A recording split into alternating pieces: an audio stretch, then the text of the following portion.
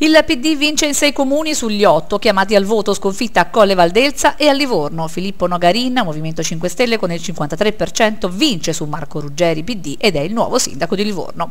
Per la prima volta il PD è all'opposizione, il Consiglio Comunale conterà solo sette seggi, mentre i 5 Stelle ne avranno ben 20. Il PD sconfitto nell'unico capoluogo al ballottaggio crolla anche a Colle Valdelsa, dove la candidata Miriana Bucalossi viene battuta a sorpresa da Paolo Canocchi, già sindaco comunista dall'80 al 92. A capo di una lista civica. Vittoria netta quella di Canocchi che la spunta col 58,7% contro il 41,2% della sua avversaria. Ampio margine anche a Montecatini Terme dove è arrivata la conferma del sindaco Giuseppe Bellandi, centro-sinistra, che vince il ballottaggio 60,2% contro Riccardo Sensi, colonna storica di Forza Italia. Maurizio Viligiardi, PD, sindaco uscente di San Giovanni Valderno, esce vincitore dal ballottaggio contro Francesco Carbini, lista civica di sinistra. Viligiardi ha preso il 56,9% 49% contro il 43,1% del suo avversario.